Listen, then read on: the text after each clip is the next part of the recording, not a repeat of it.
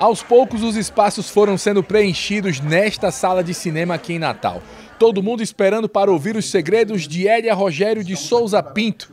Não sabe quem é, né? Mais conhecida como Fofão. Agora sim, são 30 anos de esporte, 17 anos consecutivos na seleção brasileira e muitas conquistas que servem agora de inspiração. Quando eu parei de jogar, é, junto com a Kátia Rubel e o Rodrigo, a gente falou assim, agora é a hora de da gente começar a fazer.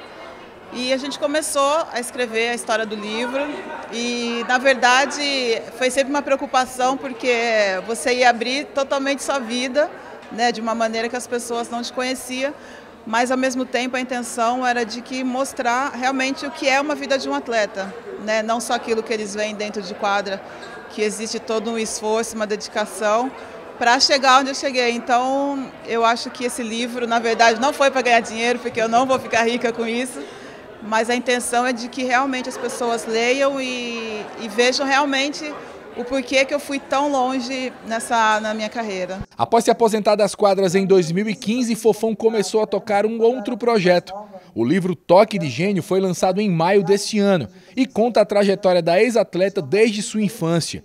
E por falar em infância, Fofão falou um pouco da situação do esporte aqui no país e como o baixo interesse dos jovens vem trazendo implicações negativas. Eu sinto que esses problemas financeiros que acabaram acontecendo, inclusive no vôlei, né, que foi muito triste, porque eu acho que a gente sempre pensa no esporte como uma, não, a gente não vê o, o esporte como uma coisa ruim, a gente vê como uma coisa boa.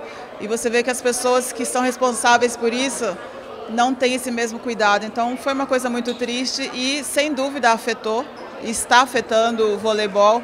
Tanto é que a gente está vendo que o vôlei ele, ele vem numa instabilidade muito grande, né? E a principal preocupação nossa, que é a base, está passando por um momento difícil devido a isso, falta de recurso mesmo.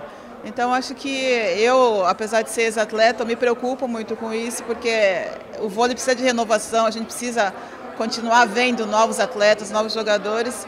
E devido a tudo isso, a gente vai ter, vai sofrer um pouquinho para recuperar toda essa confiança.